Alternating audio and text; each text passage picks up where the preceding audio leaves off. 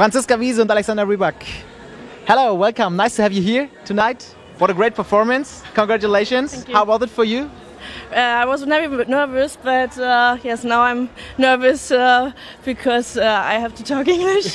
Speak English. Du, du, kannst, du kannst auch Deutsch sprechen.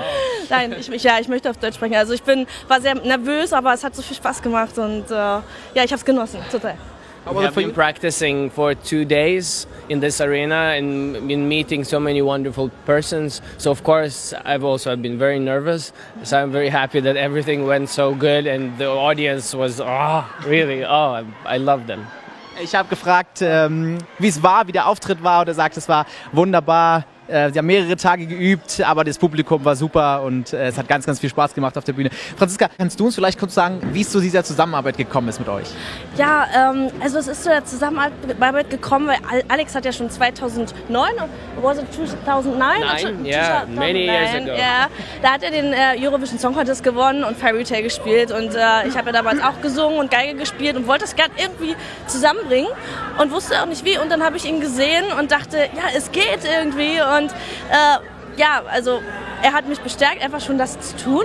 Und ähm, ja, jetzt dachte ich, okay, man könnte jetzt vielleicht auch ein Duett machen. Deutsch und Englisch wäre wär mal eine tolle neue Sache. Und ja, der Rest hat sich dann so ergeben und heute stehen wir hier mit Fairy Tale. Passt ja auch super zusammen, die Leute haben total gefeiert, die haben mitgemacht. Ja. Wird es denn eine weitere Zusammenarbeit geben in Zukunft? Also wir haben ja ähm, unsere äh, Maxi-CD rausgebracht, auch mit einem anderen Song. Kortek heißt der, der ist deutsch und russisch. Ähm, also wir haben schon noch mehr gemacht, project. ja, very international.